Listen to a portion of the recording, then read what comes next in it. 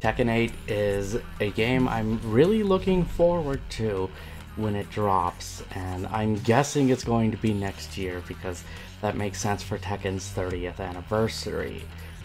But for the time being, there was a closed network test that was done, and I got to try a little bit of it.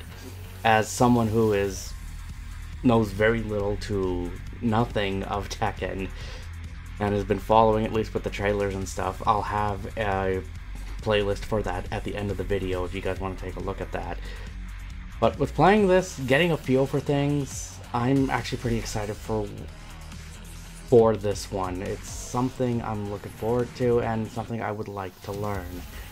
Now, in terms of what was in the closed network test, there was it was only for ranked mode, so you could only do ranked matches.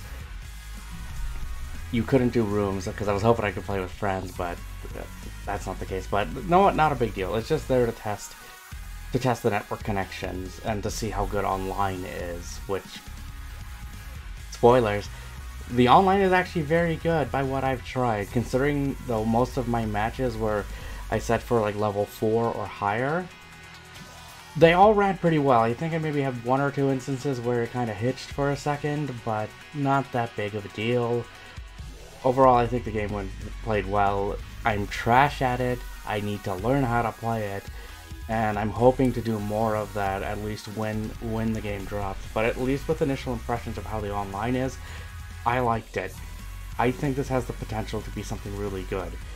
Crossplay, I won't be able to test though because I'll be gone during the next test, so I'm gonna have to see how that is. So I'm gonna be looking for feedback on that. But I would say at least overall, like the online play, it's looking solid. I'm very curious to see where things go with it and learn more about it.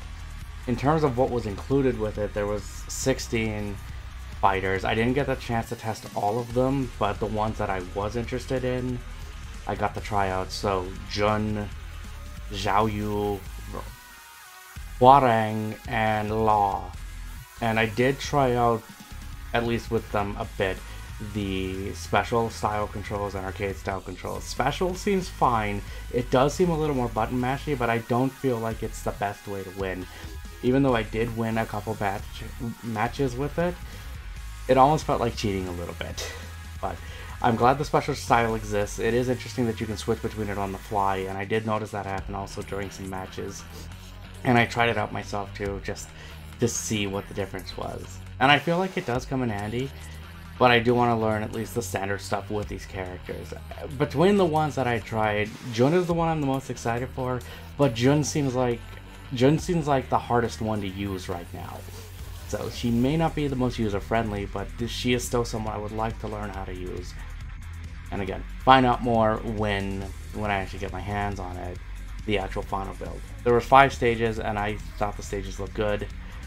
There was some destruction with them too, which I thought was pretty interesting. But I mean, overall, like the game looks great. It ran well, and I feel like this might be one of my most anticipated games of next year. Provided it is coming next year, and I'm pretty sure it is, like I said, because next year is going to be Tekken's 30th anniversary. It would make sense to release it for then.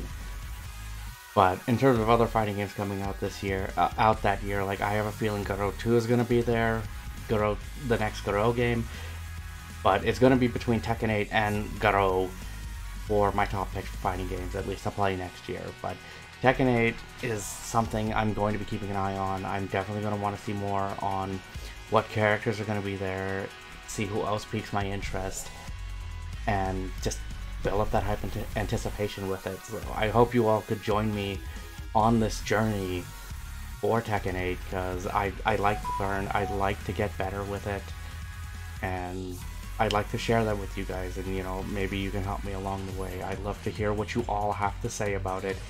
Did you get a chance to play that closed network test? Or see any footage. What do you guys think about it? I'd love to hear what you guys have to say. Leave your feedback in the comments below. Don't forget to like the video, subscribe to the channel, join in on this journey. I'd love to have you along for the ride. With that though, I thank all of you for watching. And until next time, stay safe, and I will see you in the next one.